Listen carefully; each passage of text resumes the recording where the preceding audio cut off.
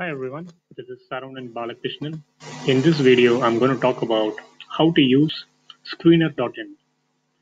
Right now, I have an account in Screener which I have logged in. So once you log in, you will actually find a user interface like the one that you're seeing in the screen, where you have three different options, feed, screens, and tools.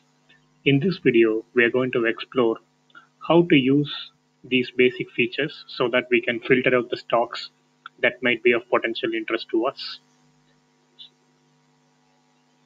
First one is called the feed. In feed, you will have actually the companies that you can add to your watch list.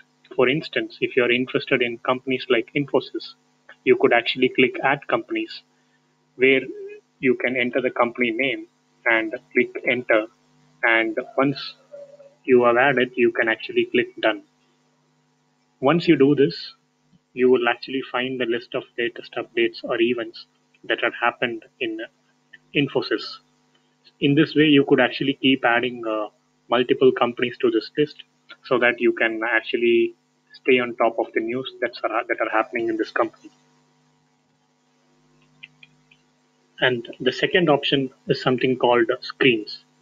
Screens is nothing but companies that you can potentially filter out based on your preset criteria. So when you click new screen, you can actually enter the criteria that you want. So now in this criteria, I'm going to filter down companies with a market capitalization of greater than 1000 crores and sales greater than 1000 crores. Now when I click run this query, you will actually find the list of companies that are meeting this criteria.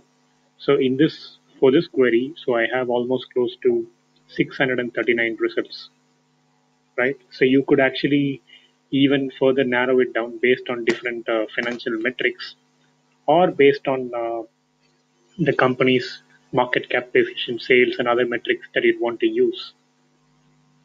So that's about search query. So you could actually use the query that you want and uh, filter down companies uh, using different search queries. And tools is something where uh, we could actually customize our search queries.